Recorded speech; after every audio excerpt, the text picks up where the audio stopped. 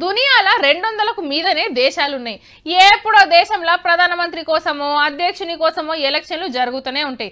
గెలిచినాక పలానా దేశాన్ని పలానా లీడర్ ఏలబోతున్నాడు అని ఇట్లా వార్తలు వస్తాయి కానీ అమెరికా అధ్యక్షుని ఎలక్షన్లు అట్లా కాదుల్లా. దునియా మొత్తం అటు దిగే చూస్తుంది. ఎవరు పోటీ చేస్తుండ్రు? ఎవరు గెలుస్తారు? ఆ లీడర్ వల్ల అమెరికాకి ఎంత లాభం? మనకేం ఫైదా? అనే చర్చలు నడుస్తుంటాయి. ఇంతకు అమెరికాలో ఎవరు గెలుస్తున్నట్టు?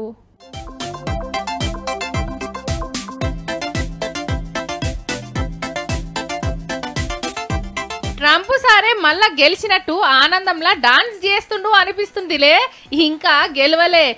గెలుస్తా అని ముందే సంబరం చేసుకుంటున్నాడు. ఏహే నువ్వు దిగిపోతావు. నేనే కుర్చీలకు వస్తా అని బిడన్ సార్ సుత ఫుల్ జోషులున్నాడు. అటు ఓట్లు లెక్క పెడుతున్నాగానే ఇద్దరు లీడర్లు నేనే అధ్యక్షుడిని అవుతున్నా అని మురిసిపోతున్నారు. టగ్ అఫర్ నడుస్తుంది అనుకో రాదుండ్రి. ఫస్ట్ ఇలా బిడెన్ సారే గెలుస్తాడు అనిపించింది.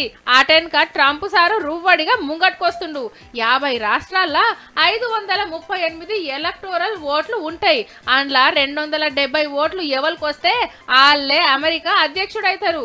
సర్వేలన్నీ ట్రంప్ సార్ ఓడిపోతాడని చెప్పినా పబ్లిక్ మాత్రం ఆయనకే జై కొట్టినట్టు కనబడుతుంది.